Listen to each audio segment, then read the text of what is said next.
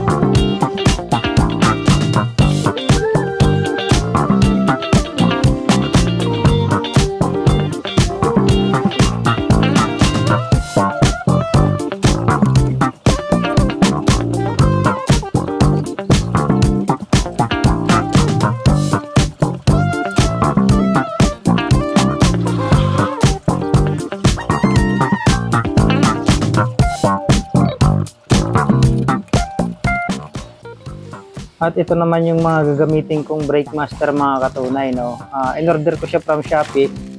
Ito para sa rear brake natin. So, universal siya. Ah, built-in na yung kanyang reservoir. At ito naman yung kanyang mga levers. So, ito para sa clutch. Yan, sama na yung switch. Tapos, itong isa naman is brake master ng front. So, naka-smoke siya may libre pang ano ah, fluid. Tapos itong mga bungee bolt niya is para sa dalawang hose ito. Kasi dual disc nga yung ating front brake no? So tara kabit na natin